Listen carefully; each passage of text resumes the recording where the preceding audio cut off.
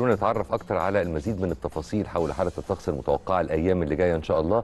إحنا معانا على التليفون دكتورة منار غانم عضو المكتب الإعلامي بالهيئة العامة للأرصاد الجوية. دكتورة منار صباح الفل على حضرتك واهلا بيكي. صباح الفل على حضرتك أستاذ كريم واستاذه نهاوند وكل السادة المشاهدين. أهلا بك طبعا. دخلنا بقى في في, في يعني في أجواء الحارة نسبيا. يا ترى الوضع مستمر على هذا الحال الفترة اللي جاية ولا في توقع لأي انخفاضات في درجات الحرارة؟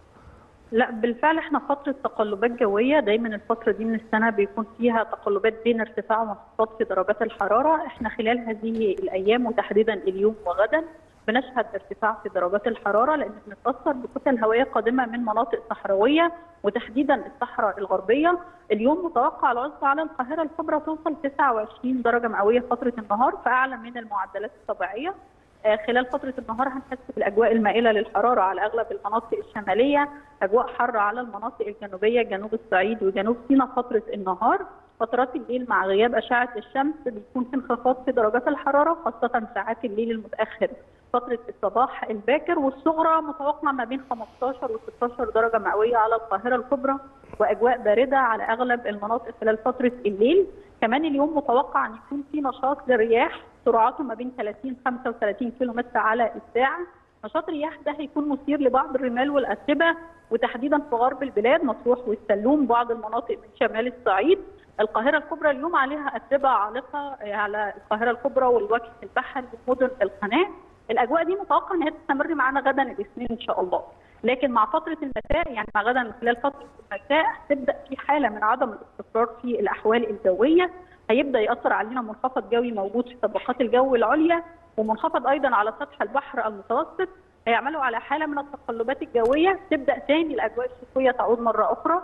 يكون في فرص لسقوط الأمطار على المناطق الساحلية من الجهة الغربية وممكن كمان الأمطار دي تكون أمطار متوسطة ممكن تزيد عن المتوسطة في مطروح.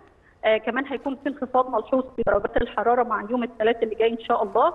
متوقع إن العظمى على القاهرة الكبرى تكون 20 درجة مئوية فترة النهار سنعود تاني للأجواء الشتوية فترة النهار. فالحالة الجوية دي ذروتها يوم الثلاث هيكون في أمطار متفاوتة الشدة على شمال البلاد حتى القاهرة الكبرى وشمال الصعيد بعض المناطق في سيناء ومدن القناة.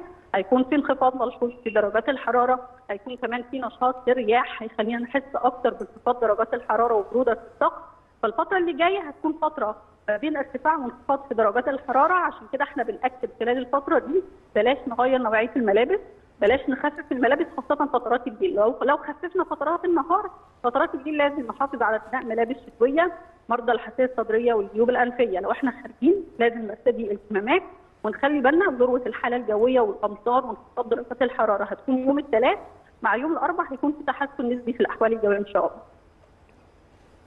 شاء الله. جميل إحنا بنشكر حضرتك على مشاركتك معانا جزيل الشكر. واضح إن الدنيا مش مستقرة وفعلا تقلبات ده مش تقلبات ده تقلبات حادة كمان يعني انخفاض وفرص سقوط أمطار ورياح وده أنت بتتكلم في نهاية الشتاء خلاص م. يعني هو فاضل تقريبا النهارده يوم إيه يا كريم؟ النهارده 12 12 آه فاضل تقريبا 10 أيام تحديدا 10 أيام آه. على انتهاء فصل الشتاء ده يعني آه بالتحديد. طيب